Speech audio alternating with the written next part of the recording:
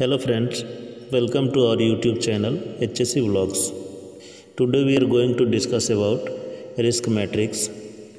आज हम बात करेंगे risk matrix risk risk index तथा रिस्क रेटिंग के बारे में कि ये क्या होते हैं और इनका ज़रूरत कहाँ पर पड़ता है सबसे पहले हमें यह जान लेना चाहिए कि व्हाट इज़ रिस्क रिस्क क्या होता है अगर हम रिस्क को सिंपल लैंग्वेज में समझेंगे तो पॉसिबिलिटी ऑफ़ लॉस और इंजरी या फिर रिस्क को इस तरह से समझेंगे risk is possibility of bad happening it means अगर कुछ नुकसान या ख़राब होने की संभावना होती है तो उसे रिस्क हम बोलते हैं।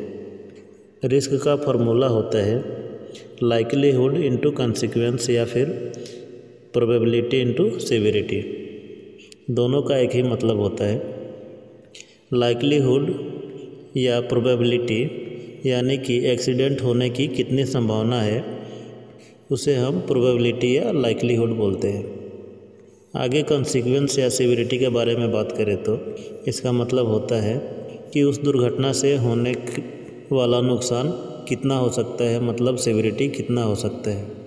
सिविरिटी मतलब दुर्घटना से होने वाले परिणाम को सिविरिटी बोलते हैं। यह एक रिस्क मैट्रिक्स है, जिसमें तीन कलर दिखाया गया है। जिसमें कि पहला है रेड, दूसरा है येलो और तीसरा है ग्रीन। इन तीनों कलर का अलग अलग मतलब होता है, जैसे कि रेड का मतलब होता है हाई रिस्क, येलो का मतलब होता है टोलरेबल रिस्क, तथा ग्रीन का मतलब होता है लो रिस्क। अगर रेड कलर के बारे में बात करें तो इसका मतलब होता है हाई रिस्क। जो कि अनएक्सेप्टेबल रिस्क होता है, जिसे हम टॉलरेट नहीं कर सकते हैं, तथा इसके लिए हमें क्या प्रिकॉशंस लेना चाहिए, उसे हम रिस्क असेसमेंट में मेंशन करते हैं। यहीं अगर येलो की बात करें तो येलो टॉलरेबल रिस्क को रिप्रेजेंट करता है, और ग्रीन लो रिस्क को रिप्रेजेंट करता है। आगे बात करेंगे रिस्क मैट्रिक्स के बारे में, तथा रिस्क रेटिंग कैसे दिया जाता है, इसके बारे में भी बात करेंगे। तो सबसे पहले हमें यह पता होना चाहिए कि रिस्क का फार्मूला क्या होता है मतलब रिस्क को हम कैसे ज्ञात करेंगे। तो रिस्क का फार्मूला होता है risk equal to severity into probability जिससे हमें पता चलता है कि रिस्क हाई है, लो है या फिर टॉलरेबल है। तो हम इस रिस्क मैट्रिक्स को एक एग्ज़ाम्पल के माध्यम से समझने की कोशिश करेंगे। कि रिस्क रेटिंग कैसे दिया जाता है?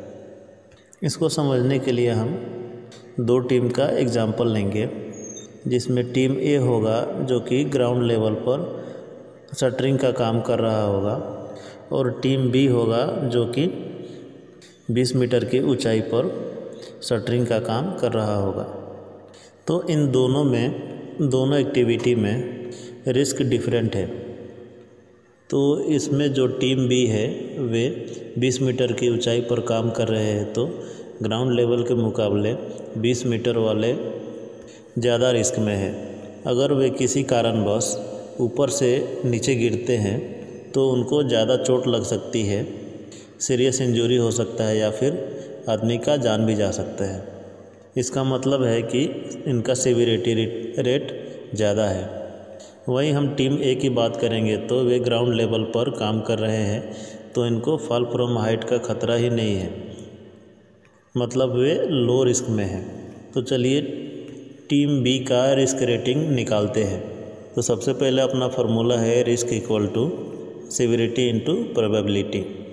तो हम देखेंगे कि सिविरिटी कितना है। जो आदमी 20 मीटर की ऊंचाई पर काम कर रहा है, वो किसी कारण बस ऊपर से नीचे फॉल करता है तो उसके गिरने के बाद एक तो सीरियस इंजरी हो सकता है या फिर फेटल भी हो सकता है। इस सिनारियों में उस एक्सीडेंट से होने वाला सिविरिटी ज़्यादा है। तो इसका सिविरिटी वैल्यू हम पाँच देंगे। तथा साथ ही साथ वह आदमी सेफ्टी बेल्ट नहीं पहना है या फिर प्लेटफॉर्म सही नहीं है, जिसमें रेलिंग टोबोर्ड या प्लेटफॉर्म में किसी प्रकार की कमी है तो उस आदमी के गिरने के चांसेस भी ज़्यादा हो सकते हैं। तो इसका मतलब है कि सिविरिटी भी, इसका मतलब है कि प्रोबेबिलिटी भी ज़्यादा है। मतलब उस आदमी के गिरने के चांसेस भी ज़्यादा है। तो हम प्रोबेबिलिटी का भी रेटिंग पाँच लेंगे। तो अगर इसे हम कैलकुलेट करेंगे तो severity equal to five and probability equal to five जिसको दोनों को आपस में गुणा करेंगे तो इसका रिज़ल्ट ट्वेंटी फाइव आएगा, जो कि रिस्क मैट्रिक्स में हमें रेड कलर में देखने को मिलता है। इसका मतलब है कि इस काम में रिस्क ज़्यादा है, जिसमें हमें इमीडिएट एक्शन लेकर रिस्क को कंट्रोल करना चाहिए। दूसरी टीम के बारे में बात करें तो वे टीम ग्राउंड लेवल पर काम कर रहे हैं तो वे कम रिस्क में है। तो चलिए इसका भी रिस्क रेटिंग देखते हैं। अगर वे आदमी ग्राउंड लेवल पर काम कर रहे हैं तो स्लिप ट्रिप होकर गिरने पर जो इंजरी होगी या चोट लगेगा, वो कम लगेगा। तो इसलिए हम सिविरिटी का वैल्यू दो दे सकते हैं या फिर एक दे सकते हैं। अगर जो वर्किंग एरिया है, अगर स्लिपरी नहीं रहा तो आदमी का स्लिप होने का चांसेस भी कम रहेगा। इसलिए प्रोबेबिलिटी का वैल्यू भी एक या दो दे सकते हैं। और इसको कैलकुलेट करके देखेंगे तो रिस्क इक्वल टू सिविरिटी का वैल्यू वन है। और प्रोबेबिलिटी का वैल्यू भी वन है तो risk equal to severity into probability का वैल्यू वन आएगा, जो कि रिस्क मैट्रिक्स में देखने पर ग्रीन कलर में दिखाई देता है। इसका मतलब होता है कि वह आदमी या वर्कर लो रिस्क में है। तो इस प्रकार से हम रिस्क रेटिंग दे सकते हैं।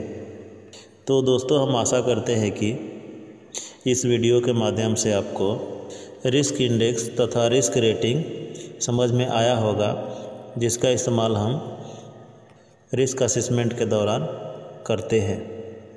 तो दोस्तों, नमस्कार, धन्यवाद। ऐसे ही वीडियो देखने के लिए हमारे चैनल को सब्सक्राइब करें तथा सेफ्टी प्रोफेशन से जुड़े अपने दोस्तों के साथ शेयर करें।